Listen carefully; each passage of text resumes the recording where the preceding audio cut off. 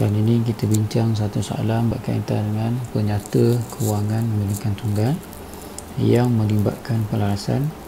Okey, soalan di sini uh, Nek Indonesia menubuhkan sebuah perniagaan menjual perabot di Masjid Tanah Melaka.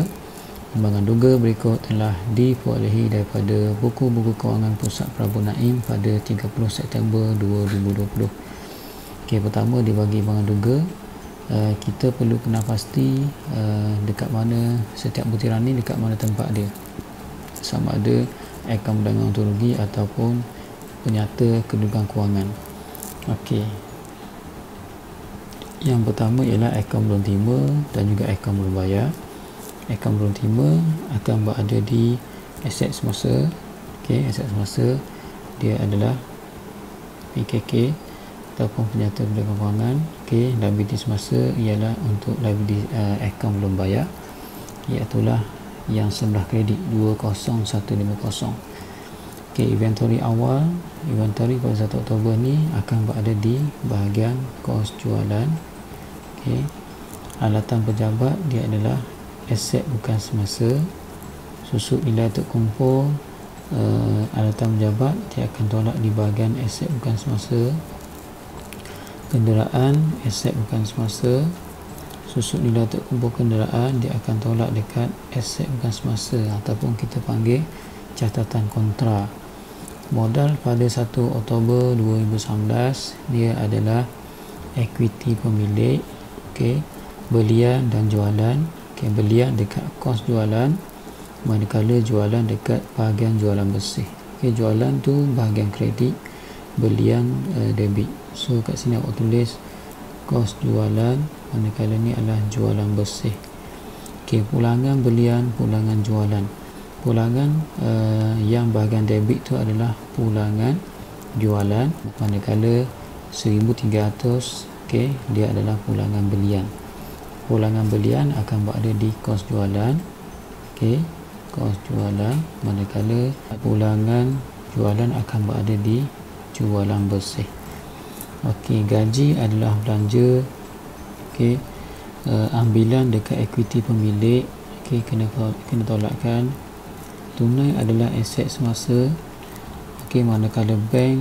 Okey oleh kerana dia berada di sebelah kredit dia akan berada di liability semasa. Insurans adalah belanja. Sewa adalah belanja. Hutang lapuk adalah belanja. Komisen okey dia sebelah kredit dia adalah hasil pinjaman 7% uh, matang pada 31 Disember. Kita tengok soalan ni dia dia berakhir pada 30 September. Okey 30 September. Maknanya 31 Disember hingga 30 September 2020 okey kita tengok dia.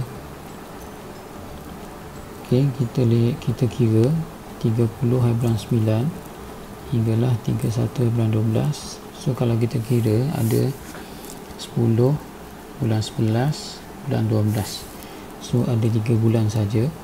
Maknanya ni adalah liability semasa. Okey, kalau kurang daripada setahun dia adalah liability semasa. Okey, yang satu lagi adalah deposit sewa. Deposit sewa adalah uh, aset semasa. Okey, kalau sewa saja dia adalah belanja. Kalau deposit sewa ataupun deposit kadar bayaran dia adalah aset semasa ok so pelarasan yang pertama uh, kita lihat inventory pada 30 September 2020 iaitu tarikh tutup akaun dinilaikan 20630 pada harga kos dan 28060 pada harga pasaran. Ok yang satu roman ni kita kena ambil nilai yang paling rendah macam biasa. So bulatkan nilai yang paling rendah okey. So kena pastikan di mana tempat dia. Dia ada dua tempat satu dekat aset semasa okey. Satu lagi adalah kos jualan okey. Nanti kita akan rekod dekat kos jualan kena tolak okey. Dia selepas kos barang dijual tu kamu kena tolak uh, inventory akhir. Okey. Yang kedua Okey, seterusnya yang kedua susuk nilai aset bukan semasa adalah seperti berikut. alatan pejabat disusut nilai 20% setahun mengikut kaedah bagi ukurangan ok caranya ialah mengambil nilai kos tolak susut nilai yang lama barulah kita darabkan dengan uh, 20% ok so kat sini kamu kena kira uh, ambil nilai kos dulu iaitu alatan pejabat ok alatan pejabat kat sini ialah 26,000 so kena tolak dengan 4,000 Okey, 26,000 dengan 4,000. Okey, kamu boleh kira dekat sebelah ni. 26,000. Okey, tolak 4,000. Barulah kita darabkan dengan 20%. Okey, 20%. Okey. So 26,000 tolak 4,000 sama dengan darabkan dengan 20%. Jawapannya ialah 4,400. Okey, 4,400. 4400 okey kamu kena tambah dengan susut nilai untuk kumpul alatan pejabat okey tak 4400 okey nanti dekat uh, susut nilai ni akan jadi nilai yang barulah kena tambah 4400 okey nilai yang baru kita dapat ni ialah susut nilai alatan pejabat kamu boleh letak uh, di mana-mana yang senang kamu nampak dan sedang kamu nak nanti kamu nak rekod dekat akaun berdangan ataupun rugi supaya kamu uh, maksudnya tidak lupa untuk rekod lah okay. so kat sini kalau tak ada ruang kamu buat boleh buat kat sini lah okay. dekat alatan pejabat susut nilai ni kamu boleh tulis nama dia ialah susut nilai alatan pejabat. Okay, nilai yang baru kita dapat tadi iaitu lah 4400 okey tempatnya adalah belanja. Okey. Seterusnya ialah kenderaan disebut nilai menggunakan kaedah garis lurus kaedah dijang, kenderaan dijangka digunakan dalam tempoh 5 tahun dengan nilai scrap 7500 okey ni uh, kaedah penilaian semula. Okey caranya ialah mengambil nilai kos kenderaan tolakkan nilai scrap bahagikan dengan tahun. Okay, kita ambil maklumat. Okay, kena kenderaan kan okay, 47,500 okay, tadi tolakkan dengan nilai scrap okay, yang tadi kan soalan scrap 7,500 okay, bahagikan dengan 5 tahun. Ok so jawapannya ialah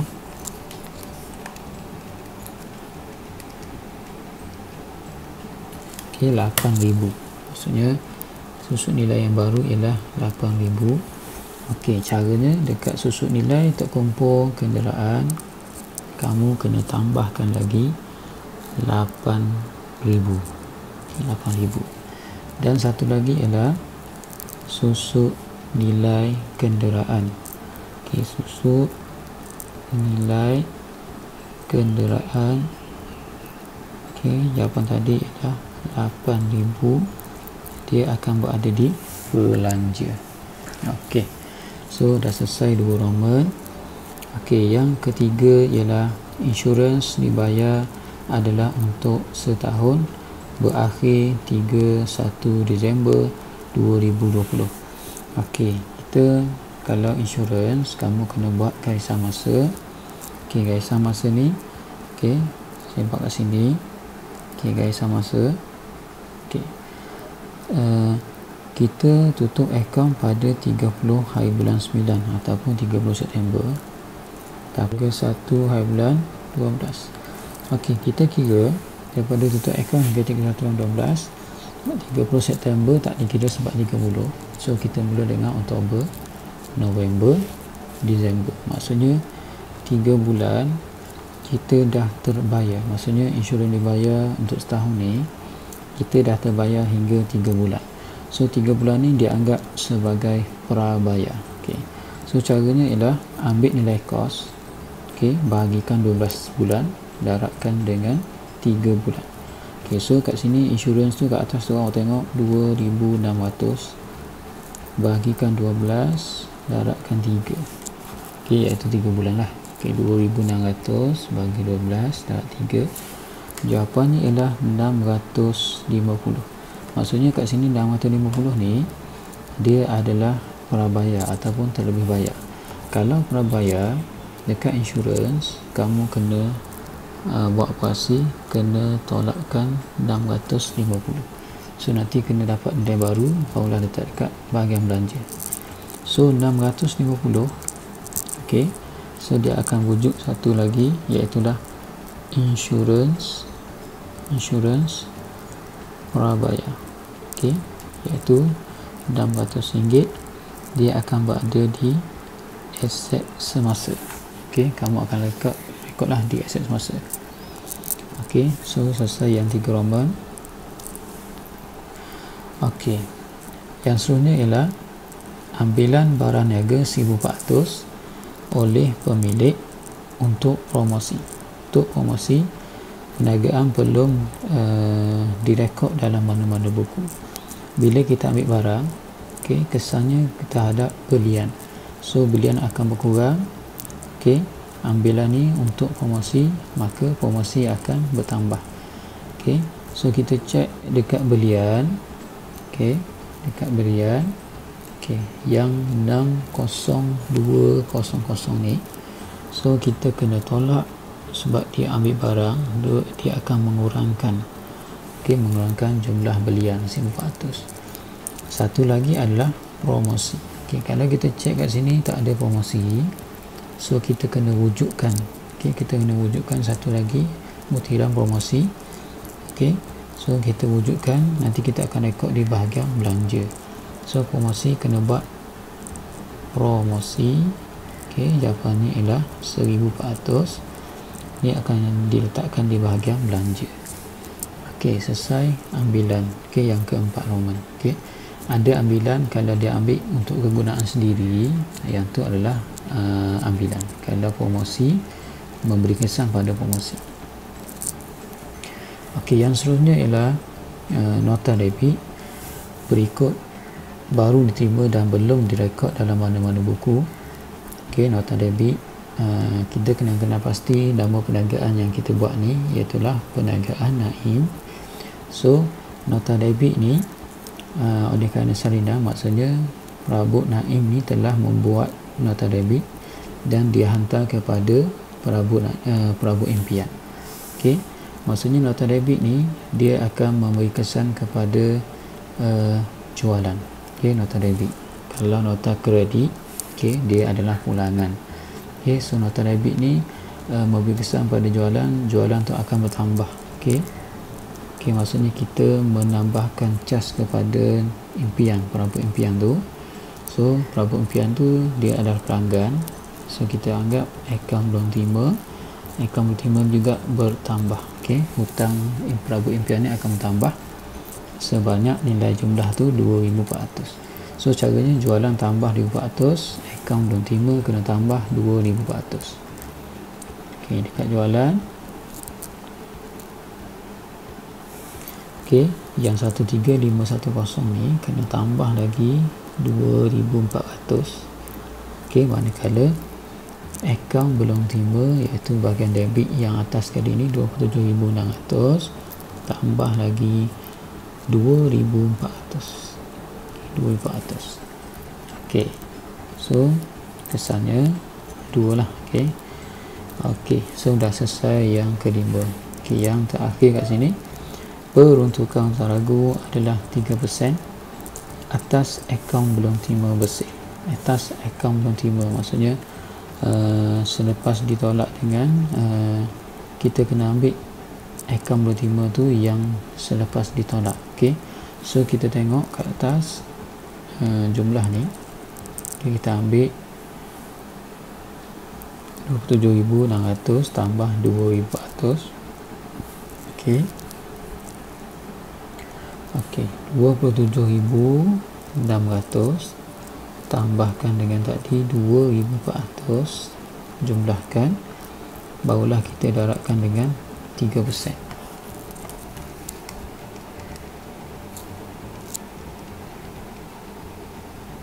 So kita dapat RM900. Okey. RM900 ni okey, kita akan letak di peruntukan hutang ragu ok kalau tak ada di imam duga so kita kena wujudkan. Ok peruntukan ragu. Dan satu lagi adalah hutang ragu ataupun peruntukan hutang ragu dia bahagian belanja. Ok so kita uh, pastikan bahawa uh, peruntukan hutang ragu ok kalau kita tengok imbangan duga ni tak ada. So kita kena wujudkan peruntukan hutang ragu. Ok nanti kita akan rekod satu dekat ok kita tulis dulu. Peruntukan hutang ragu. Ok nilai yang baru dapat ni iaitu RM900. Kita akan letak di aset semasa. Maksudnya selepas akaun belum terima tu kamu kena tolak hutang ragu peruntukan ragu dan satu lagi ialah hutang ragu ataupun awak tulis uh, nama yang sama hutang ragu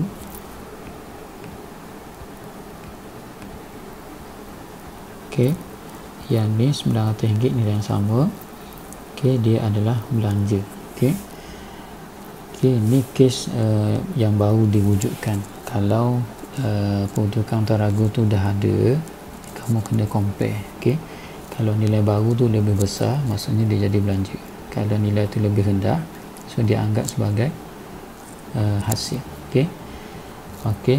Uh, satu lagi, uh, walaupun dia tak bagi dekat pelarasan okey. Tapi uh, kita kena kenal pasti okey iaitu uh, pinjaman okey. Pinjaman kita uh, buat pinjaman 7% ni sebenarnya dia adalah kadar faedah okey. Kalau perasan uh, kadar faedah dekat soalan ni kat imbangan duga ni uh, belum lagi dikira okey So kita kena kira uh, berapa faedah uh, pinjaman. Okay. Kita ambil nilai pokok dia, nilai pinjaman tu iaitu lah 25,000 okay, didarabkan dengan 7%. Okay.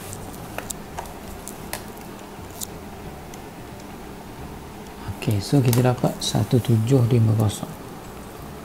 1750 ni Okey, uh, kat sini dia belum ada lagi faedah pinjaman. So maksudnya dia belum uh, membayar. Okey, belum bayar. So satu dekat belanja, satu lagi dekat liability semasa. Okey. So awak boleh letak dekat mana-mana yang senang kamu uh, nampak. Okey. Senang kamu ni lah. Okey, senang kamu nak rekodkan. Okey. Uh, saya letak kat sini lah. Okey. Okey, so kat sini kena ada faedah faedah atas pinjaman. Okey. Sama dengan itulah 1750 okey ni adalah belanja satu lagi ialah faedah atas pinjaman. Belum bayar. Belum bayar. Okey nilai yang sama. 1750 tapi kena letak dekat liability semasa. Ok liability, liability semasa. Ok ok walaupun dia tak bagi tapi kita boleh trace. Ok maksudnya ada faedah. Ok so kalau soalan kalau kamu terlupa nak rekodkan yang faedah ni uh, kurang makah lah. Ok ada dapat kurang makah tu je. Ok so uh, selesai uh, pelarasan ke Uh, dah boleh buat sentiasa kemenangan untuk rugi okay, pada 3 September okay, so kat sini kamu kena ingat format dia okay, format kamu boleh rujuk uh, kaedah menjawab uh, soalan ni kemenangan di video-video lama dan juga penyata pendudukan kewangan okay. Okay.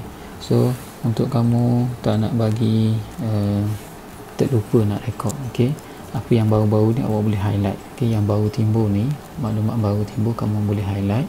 So nanti awak kena record. Okay, contoh kat sini ialah uh, hutang ragu dekat belanja peruntukan hutang ragu uh, dekat aset semasa okay, yang kita highlight ni maksudnya kena record uh, sebab dia ada benda baru maksudnya benda baru yang perlu direkod okay, promosi dekat belanja insurans mula bayar. Okay, RM600 dekat set masa susut nilai kenderaan dekat belanja susut nilai alatan berjambak dekat belanja juga. Ok inventory satu dekat kos jualan satu dekat aset semasa ok yang satu yang faedah ni ok satu dekat belanja satu lagi dekat uh, faedah pinjam iaitu liability semasa. Ok apa-apa yang pelarasan dekat merah-merah ni maksudnya yang kita buat uh, tambah tolak ni kamu kena ambil nilai yang baru ok nilai yang baru kena maksudnya kena kira dulu lah ok kena kira ambil nilai baru. Ok contoh 8000 tambah 8000 4000 tambah 4400 ok kalau kamu lupa nak tambah jadi hilang markah. Ok akan hilang markah lah kat sini. Ok so uh, selamat mencuba ok ok untuk jawapan uh, untuk kamu nak buat lah ok kita akan dapat untung bersih. Ok untung bersih. 3330 penyata kedudukan kewangan. Okey? Kena dapat modal kerja.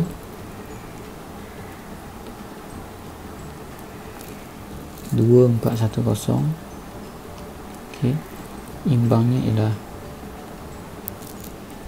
lima satu lima satu kosong okey lima satu lima satu kosong. Okey.